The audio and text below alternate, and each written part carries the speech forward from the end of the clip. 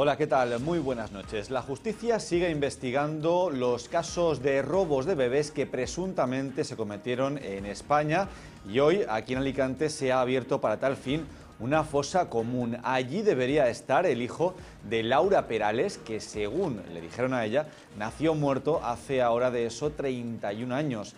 El objetivo es encontrar la tumba, ver si hay restos y si estos coinciden con el ADN de Laura. Una investigación complicada, pero que puede servir a Laura y a otras madres que también han denunciado la desaparición de sus hijos para conocer qué fue de ellos.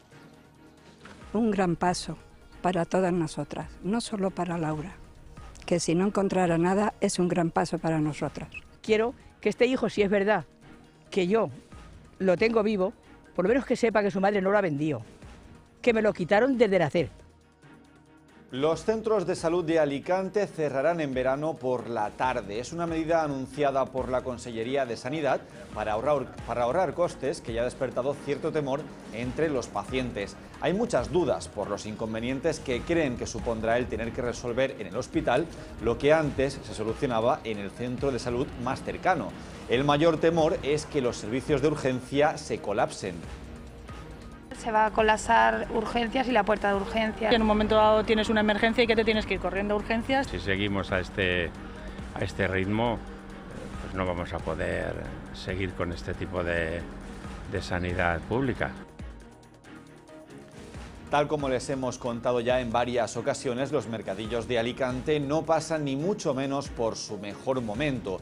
El mayor de ellos, el de Teulada, ha visto como el número de clientes se ha reducido de forma notable desde que se abandonó el recinto de Campo Amor.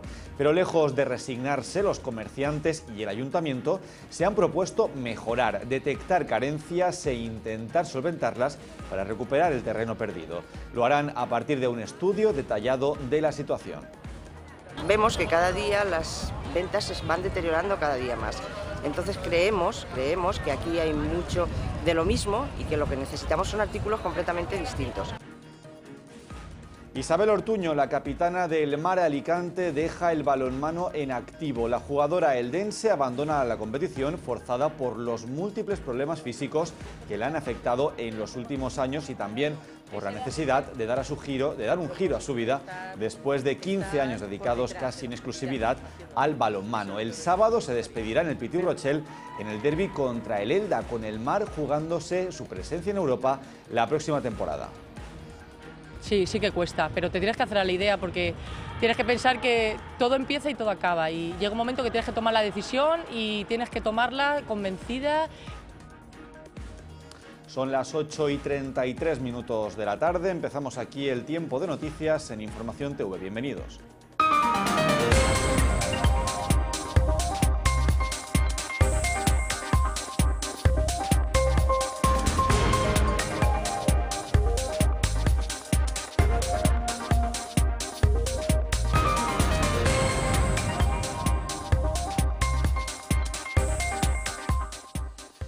Empezamos el informativo contándoles el incidente que se ha producido hoy en el pleno del Escorts, o mejor dicho, después de dicho pleno. Todo ha empezado con una intervención del diputado de Esquerra Unida, Ignacio Blanco, en la que le ha recordado al presidente Alberto Fabra los diputados populares en las Cortes que están siendo investigados actualmente por la justicia.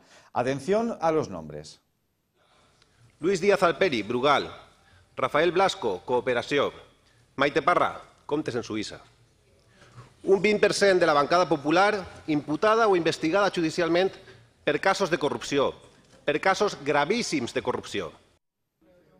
Quizás Luis Díaz Alperi o Sonia Castedo estén más acostumbrados, pero a la diputada Maite Parra, actual alcaldesa de Ibi, no le ha hecho ninguna gracia que Blanco le citara en esa lista. Según ha publicado El Mundo durante estos días, Parra está siendo investigada por presuntamente tener una cuenta millonaria en Suiza. Pues bien, aunque no se dispone de imágenes, al parecer tras el pleno, la diputada y alcaldesa habría hecho una peineta a Blanco y se habría encarado con él hasta el punto de que han tenido que sujetarla para que la cosa no pasara a mayores.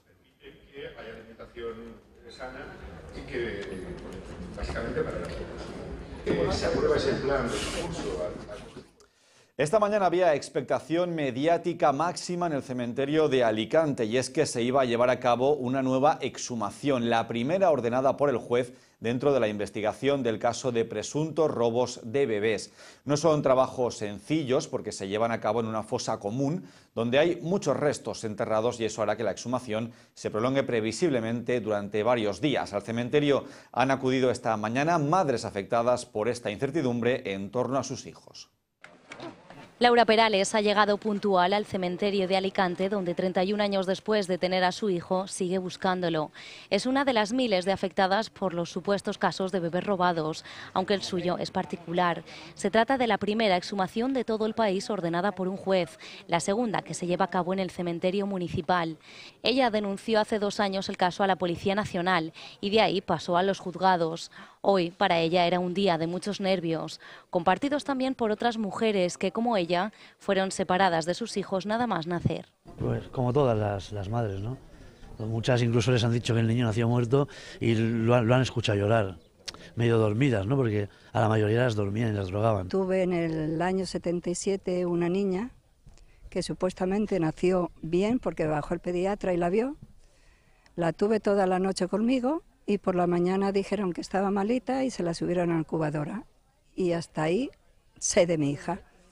Y cuando me llevaron a la cama, vienen dos enfermeras y me dice que, digo, ¿qué he tenido? Dice, atiende un niño. Dice, pero está muy débil.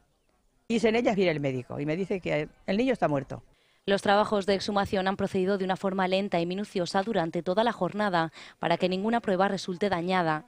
Son muchos los restos en esta fosa común y muchas las esperanzas que van también unidas a las de Laura Perales. Un gran paso para todas nosotras, no solo para Laura, que si no encontrara nada es un gran paso para nosotras.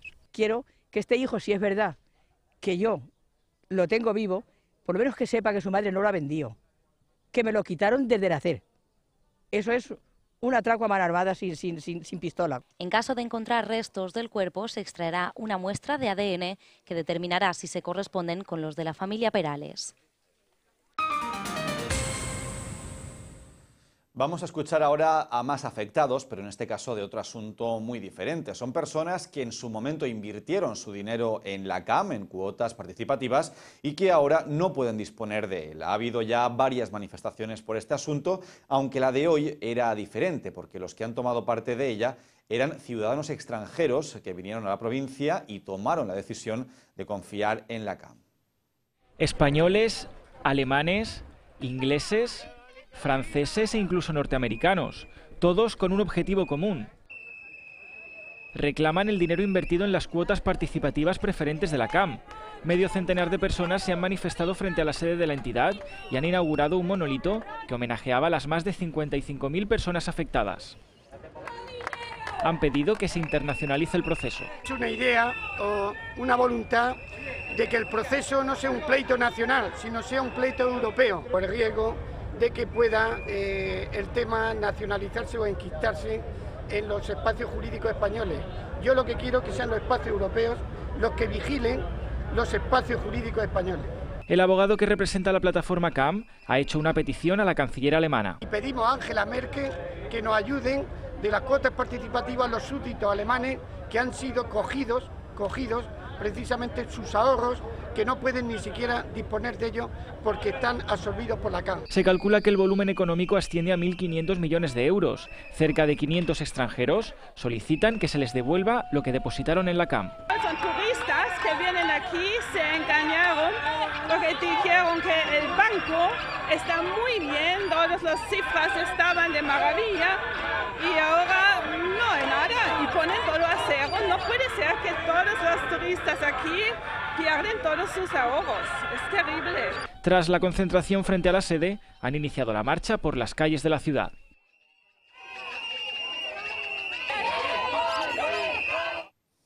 Rara es la semana en la que no se habla de nuevos recortes para el sistema sanitario valenciano. La última mala noticia que se han llevado sus usuarios es la decisión de Consellería de que por las tardes cierren prácticamente todos los centros de salud. Eso sería en verano, precisamente la época del año en la que más gente hay en nuestra provincia. El cierre de los centros de salud por las tardes durante todo el verano no ha sentado muy bien entre los pacientes. Las instalaciones sanitarias cerrarán a las 5 de la tarde y los usuarios deberán dirigirse a las urgencias de los hospitales ante cualquier problema de salud. Particularmente me parece bastante desacertado porque quieras que no, pues los servicios como por ejemplo de la calle aún se van a ver muy desbordados. Porque la gente que tiene trabajo por la mañana, si puede ir por la tarde, ahora si está cerrado, vamos, afectaría bastante. Me parece fatal, se va a colapsar urgencias y la puerta de urgencias. En un momento dado tienes una emergencia y que te tienes que ir corriendo a urgencias, pasar tres horas para que te atiendan a lo mejor por algo que realmente no es tan tan grave, pero que para ellos sí que sí que necesitan una atención. Tampoco la apoyan los sindicatos, que la han calificado como un nuevo ataque a la sanidad pública. Es una medida que, que, entorpece el funcionamiento normal de los centros de salud y yo entiendo que todavía está a tiempo la Consejería de Sanidad para eh, reconsiderar esta, esta decisión. Desde la Consellería de Sanidad no han concretado más datos sobre la nueva medida. Quieren esperar a que el plan esté totalmente elaborado, mientras los pacientes temen la dirección hacia la que se encamina la sanidad pública. Lo que está claro es que si seguimos a este, a este ritmo, pues no vamos a poder seguir con este tipo de, de sanidad pública. Desde Comisiones Obreras aseguran que la Generalitat sigue solo un criterio económico. Esto lo que va a generar básicamente es eh, una disminución de la accesibilidad de los ciudadanos de la comarca de Alacantí a sus centros de salud y además eh, se va a provocar un colapso también de los servicios de urgencias. En Alicante solo el centro de salud de la calle Ayun permanecerá abierto. Los sindicatos han detectado algunas deficiencias. Nos encontramos con que ese punto de atención sanitaria no tiene servicio de pediatría y por lo tanto tendrá que determinar también si lo van a reforzar con ese servicio. En la comarca de la Alacantí abrirán los centros del Campello y el Cabo de las Huertas. En Alicante son cuatro los mercadillos que semana tras semana sacan a la calle las ofertas más llamativas en textil, calzado y fruta o verdura. Un día como hoy, jueves, son de visita obligada para muchos, pero cada vez para menos. La crisis ha llegado a este tipo de comercio, así que hartos de ver cómo descienden sus ventas, tenderos y ayuntamientos se han propuesto conocer las carencias que tienen y buscar soluciones para mejorar su situación. A los mercadillos alicantinos les ha llegado la hora de renovarse o morir. Con la crisis, sus ventas han caído en picado y ahora serán sometidos a un cambio que pretende ser suficiente como para atraer a más clientes y así aumentar los ingresos. El Ayuntamiento de Alicante les va a echar una mano. Por eso han realizado un estudio sobre la situación actual de los cuatro que existen en la ciudad. Lo primero será renovar la imagen, por lo que todos los toldos serán blancos y dos faldones azules cubrirán la parte principal. Aquellas personas que se vayan a implantar en el mercadillo o que vayan a hacer un cambio de toldos en el mercadillo, tendrán que hacerlo conforme a este criterio estético. Clave será también para dinamizar la demanda, ampliar la oferta. Los 50 puestos que hay vacantes se llenarán con productos distintos a los actuales. Vemos que cada día las ventas se van deteriorando cada día más.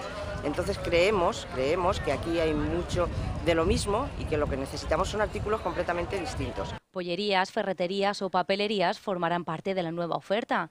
Es uno de los cambios que reclaman los placeros, aunque tienen también claro que hay otros muy necesarios. Que no abran el parking que hay bajo cerrado porque la gente no puede, no tiene acceso al aparcamiento y no, no queda gente aquí para, no vienen con su coche, no vienen y autobuses no hay, pues aquí no hay gente para, para venderle con todos los vendedores que somos. Lo que hace falta es que haya trabajo para todo el mundo. Eso, eso, es lo que, lo que importa. Que vengan las señoras con bastante dinero. Sí. Para, para, que no estemos nosotros aquí como estamos en el paro. Poner transporte público para que se, se acerquen más los, los, ciudadanos de los barrios que hay alrededor. Que puedan llegar, aparcar rápido y, y sin problemas. Yo creo que lo principal es eso. Mantener la limpieza de cada puesto forma parte del nuevo plan, una experiencia que ya han probado y que ha tenido muy buenos resultados. Son las 9 menos cuarto, momento de hacer una breve pausa y volver enseguida con los deportes. Hasta ahora.